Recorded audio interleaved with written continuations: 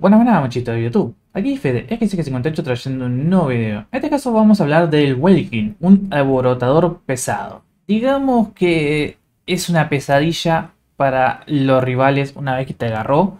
El alborotador ya saben que es como el Fanter, ese mismo rol, solamente que este es pesado, así que es un poquito más duro, más matodonte, más, mm, más tosco también en cierto aspecto. Ahora lo vamos a ver el gameplay. Y la verdad es un personaje muy interesante que cuando te agarra no salís vivo, normalmente no salís vivo. Me han ganado haciendo counter a mi Fanter con este porque yo dije me planto y no, no salgo vivo cuando me enfrento a, este enemigo. Bien, primero veamos su clic izquierdo, que sería la arma básica, que es este cañón que podemos mantener apretado y vas disparando. Ven que le baja bastante la armadura, lo cual está interesante para ir avanzando hacia el enemigo. Bueno, y después tenemos el arma secundaria, que sería el hacha. A ver, el hacha tiene varios estilos de juego. Primero, hacemos clic y va pegando ahí. Hacemos varios clics y vamos haciendo el ataque de combo de tres golpes. Y después lo podemos tarjetear para seguir y hacer el, el hunt, ¿no? Ahí ven, yo lo puse. Pa, y seguimos haciendo el combo. Esto ya cuando lo tenés en la mira que empezás a hacer la persecución, ¿no? Después lo que tenemos es el típico combo para entrar desde arriba, que es el tup, y apretamos, pack, y ahí entramos al enemigo ya haciendo un ataque.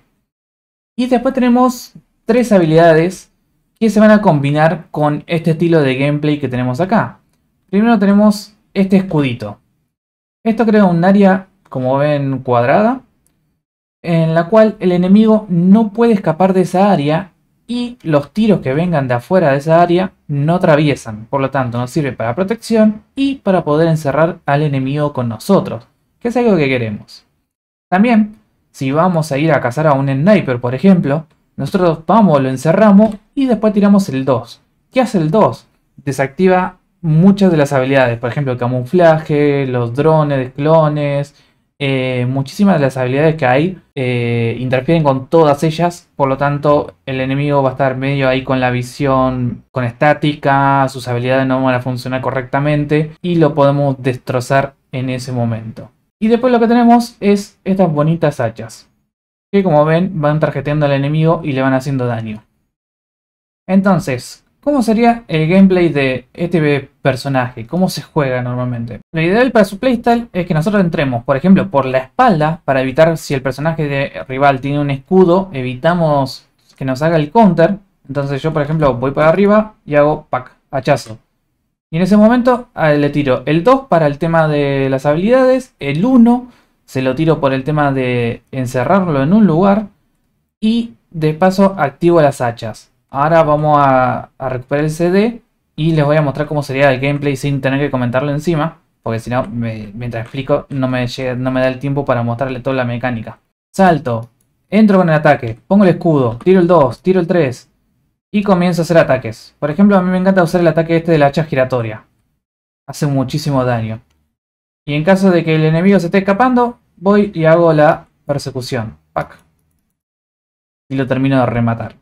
Y ese sería el playstyle de este personaje. Una vez que te tienen la mira, eh, te come vivo. Eso sí, recuerden siempre tener el CD de lo que sería el escudo para poder encerrar a los rivales. No se vayan a meter en una pelea si no tienen esta habilidad lista para poder usar. Así que cada 15 segundos van a estar matando a alguien seguro. Mientras tanto en ese intervalo van a tener que escapar, van a tener que tener algún tipo de supervivencia. Que como ven, no es muy rápido el personaje este. Ven, estoy yendo hacia adelante y la verdad no se mueve muy rápido, así que nos agarra un Enoiper y nos come vivos. A menos que logremos escapar bastante. Lo bueno es que el Enoiper, capaz que lo agarramos, lo inmovilizamos con nuestra habilidad para romperle sus clones, invisibilidad y demás. Y bueno, capaz que zafamos, pero si no, nos va a comer vivo muchos de los personajes por el tema de la velocidad. Entonces, matar antes de que te maten. Bien, para terminar vamos a hablar sobre los módulos. ¿Qué estamos buscando con nuestro querido rival? Bueno, necesitamos dos cosas. Primero, como ven tiene muy buenas defensas, así que viene muy bien subirle defensas. La vida también es muy alta, así que pueden aprovechar y subirse la vida si quieren. Probablemente la defensa, dependiendo cuál defensa estén manejando, les convenga más, pero es mucho más fácil concentrarnos en la vida, siempre que no bajen el resto de las defensas demasiado, ¿no? Porque siempre tenemos que compensar con los módulos.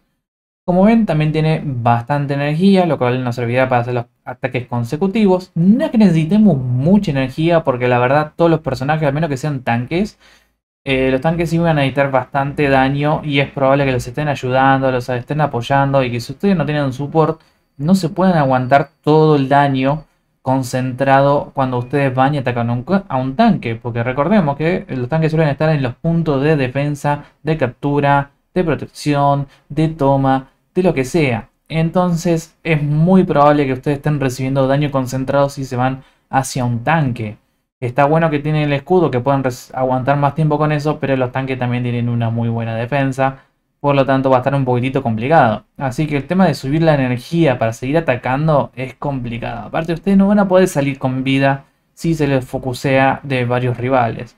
Así que lo mejor que pueden hacer es ir haciendo duelos uno contra uno.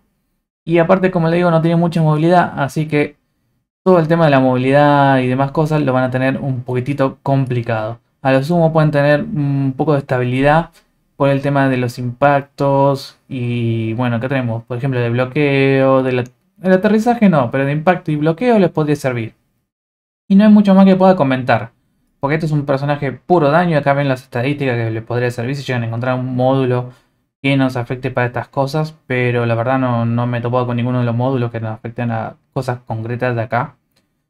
Eh, acá, por ejemplo, tenemos capacidad máxima del campo de éxtasis. Estaría bueno poder subirlo si encuentran algún módulo que les sirva, mejor. El tema es que igual tiene el CD. Si pueden encontrar un módulo que le reduzca CD de habilidades, también eso les serviría. Para poder castear el escudo más seguido y poder usar esa habilidad, ¿no? Y eso sería todo. Si tienen alguna duda, me lo dejan en comentarios. Y sin hasta la próxima. Bye bye.